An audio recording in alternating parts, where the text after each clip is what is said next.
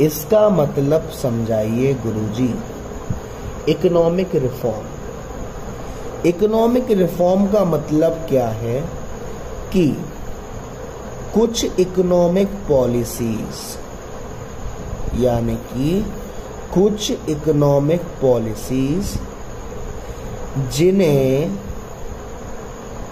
इसलिए बनाया जा रहा है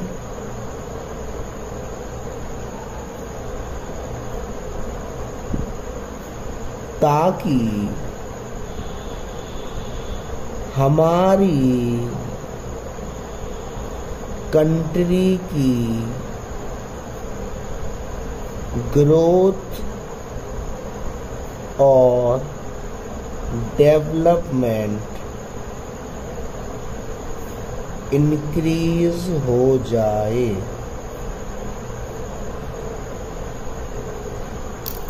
क्या है इकोनॉमिक रिफॉर्म्स बेटा? कि सर, ये हमारी वो इकोनॉमिक पॉलिसीज़ होती हैं जिन्हें बनाने का उद्देश्य ये रहता है कि हमारी कंट्री की जो ग्रोथ हो रही है और जो डेवलपमेंट हो रहा है, उसे इंक्रीज करें। तो ये थी आपकी व्हाट्सएप लैंग्वेज सर, अगर हम इसे पेपर में लिख के आएँगे तो हमें कितने मार्क्स मिलेंगे? बेटा, हो सकता है माइनस में भी चले जाए तो इसे क्या लिखेंगे कि it refers to it refers to a set of economic policies directed to directed to accelerate the pace of growth and development बच्चे कह रहे होंगे, सर, समझ में तो इसी लैंग्वेज से आ गया, पर बेटा क्या करें? पेपर में ये करना पड़ेगा. क्या है हमारी इकोनॉमिक पॉलिसी ये वो सेट है इकोनॉमिक पॉलिसी के जो इसलिए बनाए जा रहे हैं ताकि हमारी ग्रोथ एंड डेवलपमेंट की जो रफ्तार चल रही है वो एक्सलेट हो, यानी कि बढ़े। तो सर, ऐसा क्या किया गया? और जो यहाँ पे मैंने 1991 लिखा था, यहाँ 1991 में क्या देखो बेटा। 1991 में जो हमारी इंडिया की गवर्नमेंट थी 1991 में जो हमारी इंडिया की गवर्नमेंट थी, उन्होंने एक सीरीज़ स्टार्ट करी। इकोनॉमिक रिफॉर्म्स की। यानी कि हमारे इकोनॉमिक में बदलाव लाने हैं हमें। वो बदलाव एक सीरीज़ से लाएँगे। क्यों? क्योंकि 1990 जो 1990s में हमारी जो ग्रोथ और डेवलपमेंट हो रहा था, वो उस हिसाब का नहीं था जिस हिसाब से होना चाहिए। तो क्या करा? उस पहले रिफॉर्म को नाम दिया गया N E P N E P मतलब न्यू इकोनॉमिक पॉलिसी यानी कि 1991 में इकोनॉमिक रिफॉर्म्स में एक न्यू इकोनॉमिक पॉलिसी आई। इस पॉलिसी में तीन चीज़ें शामिल थी। पहली थी लिबरलाइजेशन। लिबरलाइजेशन, जिसको डिनोट हम एल से कर रहे थे, और ये थी इंडस्ट्रीज़ और ट्रेड के लिए। अभी हम समझेंगे कि इसमें होता क्या था।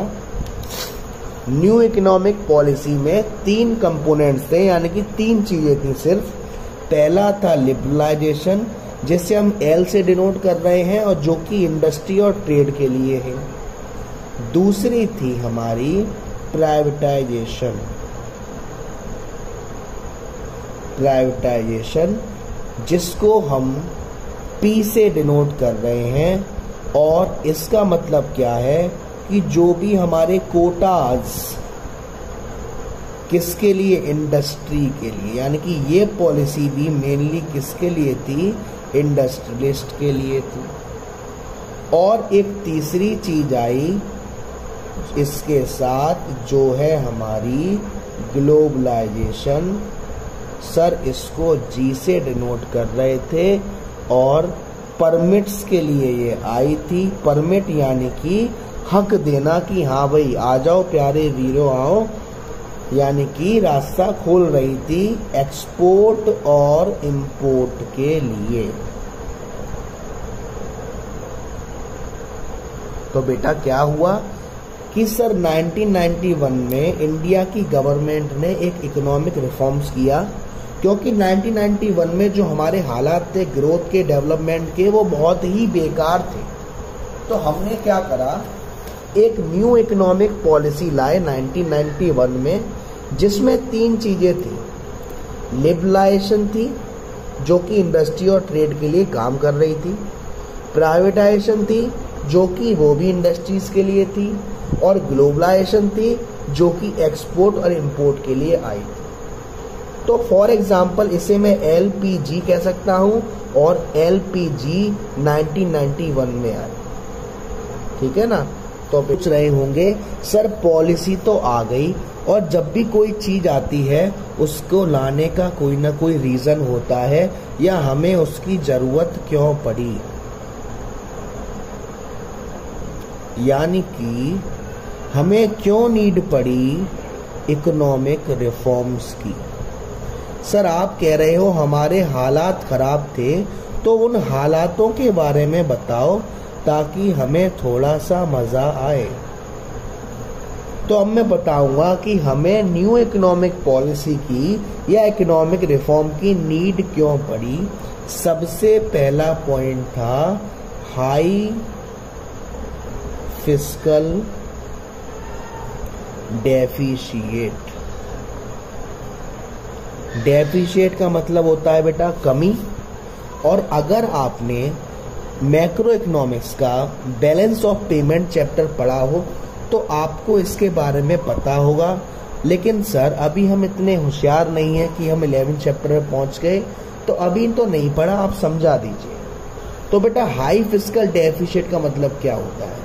फ़िज़िकल डेफिशिएट का मतलब क्या होता है कि सरकार की जो बोरोइंग्स हैं, यानी कि बोरोइंग्स ज़्यादा हैं किससे ज़्यादा है? रेवेन्यू से।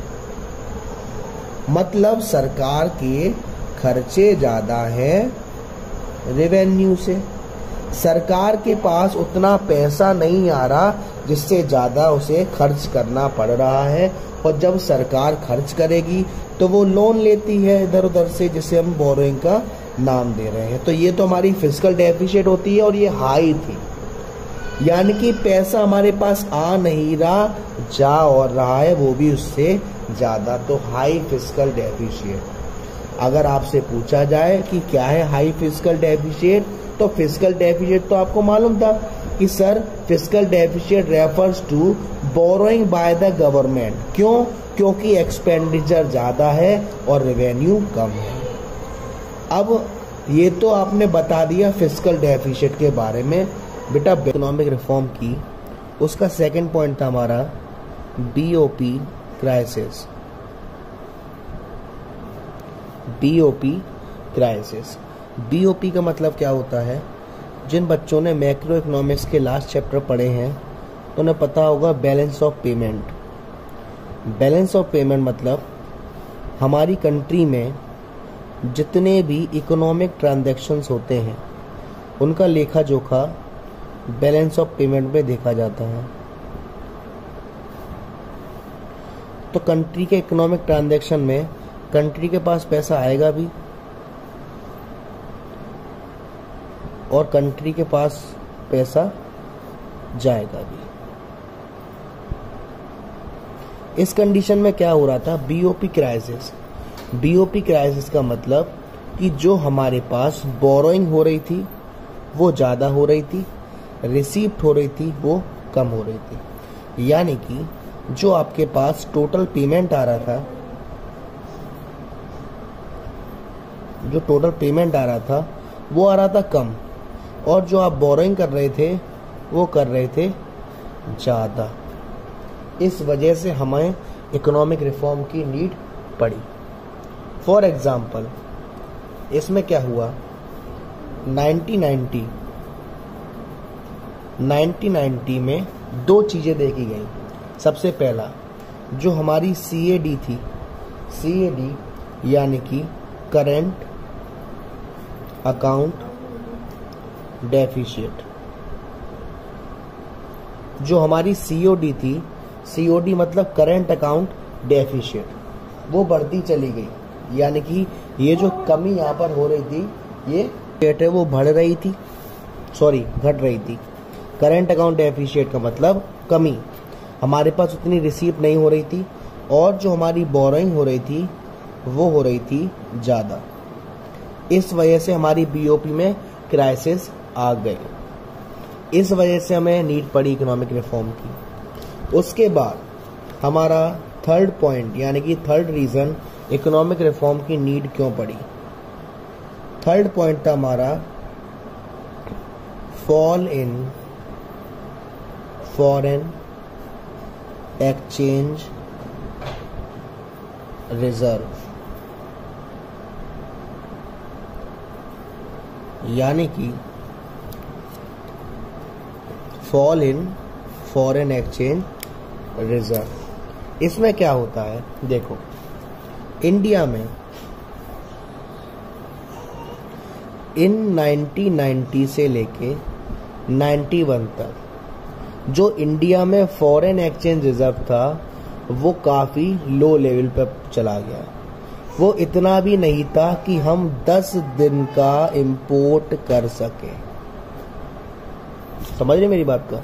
यानी कि जो हमारा फॉरेन एक्सचेंज रिज़र्व होता था 1990 से लेकर 1991 तक, इतना गिरता चला गया कि हमारे पास इतना पैसा नहीं था कि होंगे कि ये फॉरेन एक्सचेंज रिज़र्व होता क्या है। जब हम फॉरेन से व्यापार करते हैं तो उसे हमें पैसा फॉरेन के हिसाब से ही देना पड़ता है, या फॉरेन की सिक्योरिटीज़ वगैरह। ये सब हमारी फॉरेन एक्सचेंज रिज़र्व में आता है, और 1990 से लेकर 91 तक हमारे पास इतना फॉरेन एक्सचेंज रिज़र्व नहीं था कि हम 10 दिन का इंपोर्ट करें और उन्हें बिल दे सकें कि हम पैसा 10 दिन बाद दे देंगे। और जो डिक्लाइन देखा गया 1986 से 87 में जो फॉरेन एक्सचेंज रिज़र्व था, वो था आठ हज़ार एक सौ इक्यावन करोड़।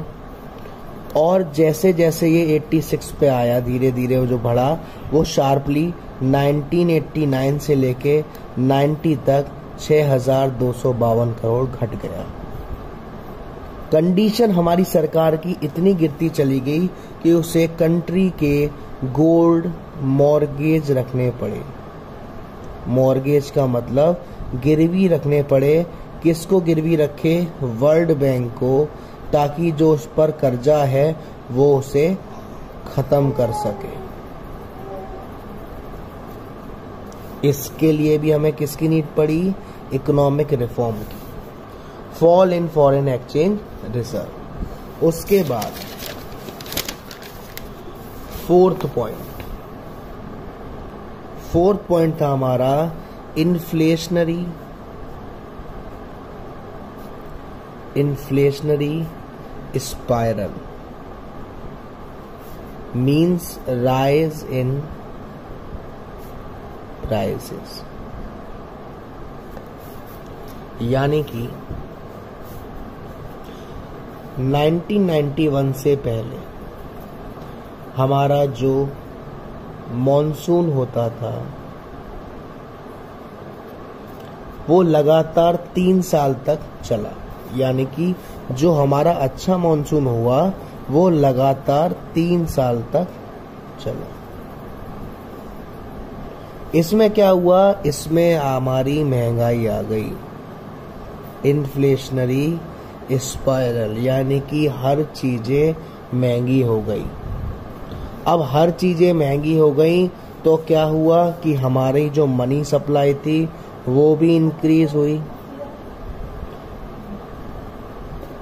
यानी कि हमें क्या बढ़ानी पड़ी हमारी?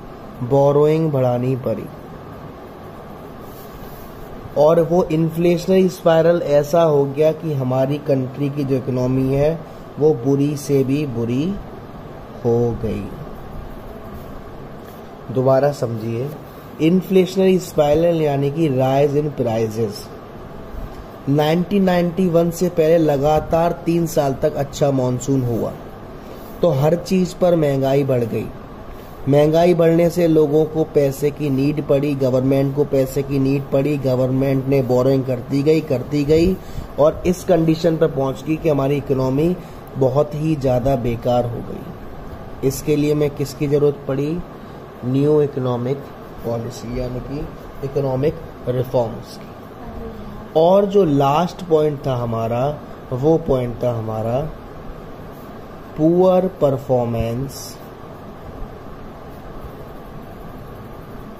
poor performance of P S U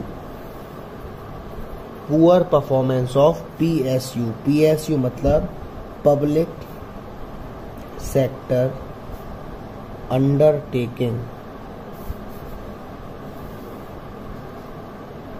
यानी कि पीएसयू वो सेक्टर होते हैं जिनमें गवर्नमेंट देखती है गवर्नमेंट काम करती है। तो जितने भी रुपए, बहुत सारे पैसे इन्वेस्ट किए गए थे पीएसयू के डेवलपमेंट में। लेकिन मोस्टली जितने भी पैसा इन्वेस्ट किया गया, वो सब कहाँ चला गया सर करप्शन में चला गया। जिसकी वजह से काफ़ी सारा घाटा झेलना पड़ा। इसकी वजह से भी हमें किसकी ज़रूरत पड़ी? न्यू इकोनॉमिक पॉलिसी की। तो अब आपको समझ में आ गया होगा कि ये पाँच पॉइंट थे, जिन पॉइंट्स की वजह से हमें इकोनॉमिक रिफॉर्म्स की नीड पड़ी। अब हम बात करते हैं कि इकोनॉमिक पॉलिसी जब आई तो उसमें क्या क्या चीज़ें शामिल थी। यानी कि elements of N E P N E P मतलब न्यू इकोनॉमिक पॉलिसी। जैसे कि मैंने इसके पहले पार्ट में ही बताया था कि न्यू इकोनॉमिक पॉलिसी में तीन चीज़ थी, लिबरलाइजेशन, ग्लोबलाइजेशन और प्राइवेटाइजेशन। तो सबसे पहले मैं बात करूँगा लिबरलाइजेशन की।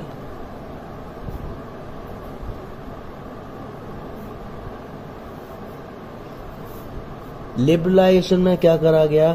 कि liberalisation of the economy means freedom of the producing units from direct और physical control impose by the government यानी कि जो लोग गुड्स प्रोड्यूस कर रहे हैं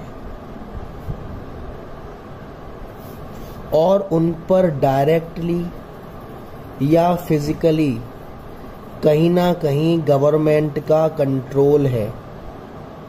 यानी कि गवर्नमेंट ने बहुत सारी बंदिशें लगा रखी हैं, उस बंदिशों को ख़त्म कर देना। उन बंदिशों को गवर्नमेंट ख़त्म कर देगी या कम कर देगी तो उससे क्या होगा? भाई वो और प्रोड्यूस करेंगे, वो भी अच्छे से। यानी कि गवर्नमेंट ने जितने भी प्रोड्यूसिंग यूनिट्स हैं, उन पर डायरेक्टली और इनडायरेक्टली जितने भी कंट्रोल कर रखे हैं, उनको थोड़ा सा हटा देना। फॉर एग्ज़ाम्पल 1991 में से पहले गवर्नमेंट ने काफ़ी सारे कंट्रोल कर रखे थे प्राइवेट सेक्टर पर। उसमें क्या क्या था कि अगर आपको इंडस्ट्री खोलनी है लाइसेंस की ज़रूरत पड़ेगी प्राइस हमारे हिसाब से होनी चाहिए, हमें इतना टैक्स देना चाहिए लाइसेंस चाहिए इंपोर्ट करने के लिए फॉरेन एक्सचेंज कंट्रोल हमारे हाथ में बिग बिज़नेस हाउसेस के लिए इन्वेस्टमेंट हमारे हाथ में, इन सभी पर जो भी रूल्स एंड रेगुलेशन थे, वो कम कर दिया गया। ठीक है ना? इससे क्या हुआ? इससे जो हमारा करप्शन था। और जो हमारे काम में डिलेज होते थे, जो हमारी इन एफिशिएंसी आ रही थी कामों में, वो क्या हो गई? कम हो गई। और कहीं कहीं तो खत्म ही हो गई। किसकी वजह से? लिबरलाइजेशन की वजह से। तो लिबरलाइजेशन का मीन्स मतलब क्या? कि सर लिबरलाइजेशन का मतलब क्या कि गवर्नमेंट ने बहुत सारे रूल्स एंड